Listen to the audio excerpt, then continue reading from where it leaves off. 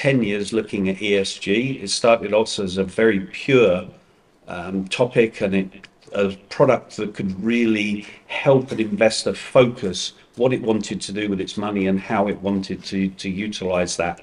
And it's been completely hijacked. And it's what financial markets do. Financial markets are driven by the need to make money.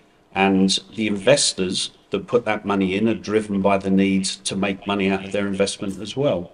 And ESG is a classic example of you set some rules, you set some benchmarks and some post points that qualify an investment product that you structure for your client to be ESG compatible. So the client comes along and says, I want to be more ethically invested in X, Y, and Z. The biggest tool that you can give the financial market is rules. Financial market loves rules because rules allow the financial market to skirt rules and to get around them. And ESG is the perfect example. You know, we took a pure product that was developed out of conversations from your sphere, your sphere of the world, and people were beginning to realize and understand that something needed to be done and they wanted to be part of it. ESG isn't that. It's a tick box exercise that's grown exponentially in terms of the assets under management because they'll sell anything that will produce fees and it's been completely corrupted. And I think the problem that you have with the financial market is don't expect it to help. It'll only help when it's incentivized to do it. And it comes back to the earlier conversation we had where policy needs to be much better at educating the voter about what it wants and how it should expect that to come about. Financial markets will not do it on their own.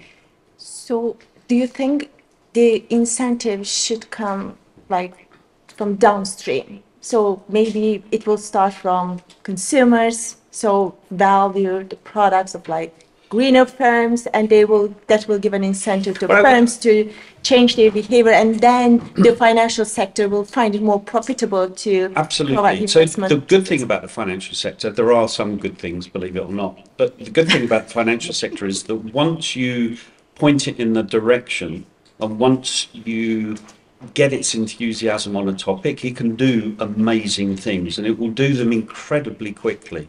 So, in terms of implementing some of these changes and helping fund the innovation, fund things that can make a difference, a real difference, and move the needle, the financial market can do that, but it needs to have the incentive to do it. And I sadly think that it's not going to do it on its own, and it needs to come from politics we had a conversation earlier so about stick, not carrot.